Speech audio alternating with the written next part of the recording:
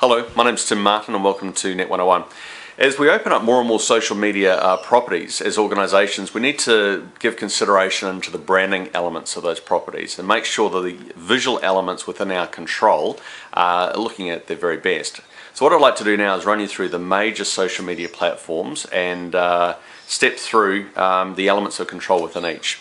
So we'll start with Facebook. Uh, Facebook, two major components. Um, on your business page, you'll see the cover shot, that's the big uh, hero shot at the top of the page and at the bottom left of that cover shot is the brand or the logo.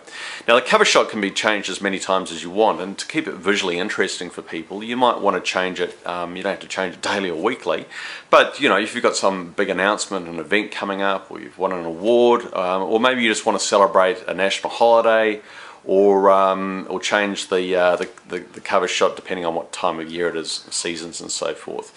But uh, yeah, don't think you just have to upload it once and it needs to sit like that forever. The next platform is Twitter. Uh, three major elements that you can um, uh, have some control over there. Firstly is the wallpaper. That's the big background image um, on your uh, page. So we've got the activity feed in the middle, but the wallpaper uh, typically spreads on to the left and the right. Now on the left hand side, sometimes you can put supporting information about uh, who's going to be tweeting, opening hours, or even um, URLs to other social media properties. We always put it on the left hand side because Twitter will always move an image across to the left and sometimes uh, if you put it on the right it'll get hidden under the activity wall. Um, the next element of Twitter is the cover shot at the top of your activity wall. Okay, so you've got some control over that, and within the cover shot is the brand uh, or the logo, or if it's a personal account, your um, your avatar or face.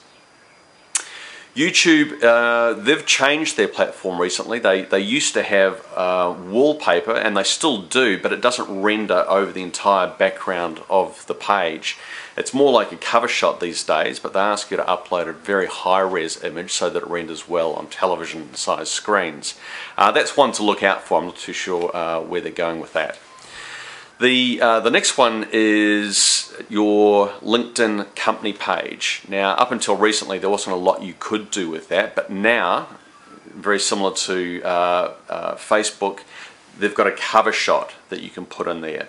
Um, you've still got your logo, but the cover shot actually is at the head of your company page so you can make that look quite smart and obviously now with company pages you can start publishing uh, through those those pages and lastly, one that might not be on your radar but probably should is Google+. Uh, quite easy to get a Google Plus brand page up and running. And the reason that that is important is that uh, Google is starting to serve brand um, uh, assets around searches for particular companies or brands. Uh, you might have seen the Google Plus local listing starting to show up if someone were to run a, a keyword search on your name. Um, but the brand pages, the Google Plus brand pages are starting to be served too. And it's a, it's a chance to really sort of um, I guess claim the real estate on page one results. And Google of course is a, force to be reckoned with. Obviously they, they dominate search. So some considerations there. Um, things do degrade over time.